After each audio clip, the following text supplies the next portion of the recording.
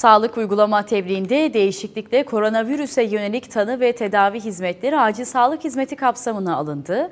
Böylece özel hastaneler koronavirüs tedavisi gören hastalardan muayene katılım payı ve ilave ücret isteyemeyecek. Ayrıca koronavirüs tedavisinde kullanılan ilaçlar da SGK'nın ödeme listesine dahil edildi.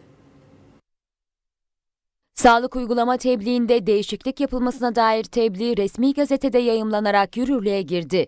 Acil hal tanımı yeniden yapılarak salgın hastalıklarda acil sağlık hizmeti kapsamına alındı.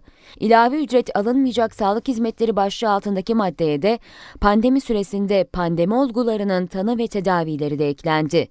Böylece özel hastaneler koronavirüs tedavisi gören hastalardan muayene katılım payı ve ilave ücret isteyemeyecek. Ayrıca koronavirüs hastalığını yenen kişilerin kanından bu hastalığı durduracak antikorların izole edilerek diğer insanların tedavisinde kullanılması için immün plazma tedarik ve uygulama tekniği de sağlık uygulama tebliğine dahil edildi. Sağlık Bakanlığı tarafından pandemi süresince hastanelerce temin edileceği bildirilen pandemi tedavisine yönelik ilaçlar ibaresi getirildi.